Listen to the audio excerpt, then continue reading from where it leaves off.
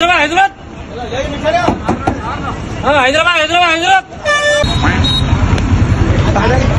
हैदराबाद हैदराबाद। हैदराबाद मेरे को जान दो प्लीज़ प्लीज़ सुकून नहीं है